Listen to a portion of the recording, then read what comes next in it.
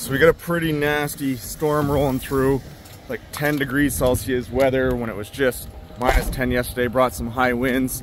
All the crews are at the office gearing up. I just wanted to show you guys this call.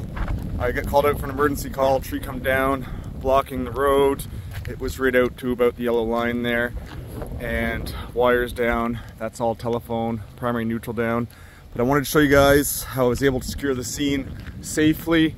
So the biggest hazard here, there's our switch pole, 7200 volts. When I arrived, that switch was open, probably because the primary landed right on the neutral. Give itself a good ground, pop that open. This guy here, the single phase is fed off the three phase. So this single phase line here is still energized. Now that cutout was tapped off of that live side there. And what we did in order to secure the scene is I went up in the boom and actually removed the tap from that switch and installed a ground between that primary and neutral.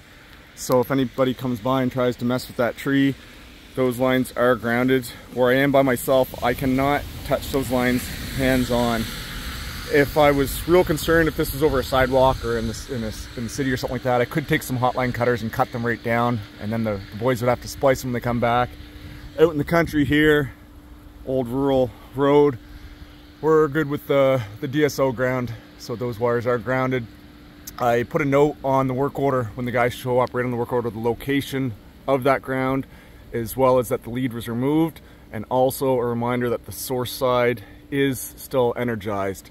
So with that, where the primary neutral wire was completely snapped, and I've got a solid 30, 40 feet clearance over to the tree. Telephone wires, I wasn't worried about that, so I used the Milwaukee Hackzall, where I'm not allowed to use a chainsaw when I'm on my own, and was able to cut up the tree enough that we got it off the road to eliminate that hazard. So we're all good here now. We're going to call the office. There'll be a crew en route here within the next half hour or so. Get the rest of this cleaned up. I should mention while I was up in the air, man, we had some crazy intense lightning going on, which is unusual for December 12th. But we got a lot of other calls rolling in, so we're gonna leave it at that for now, guys. Be safe.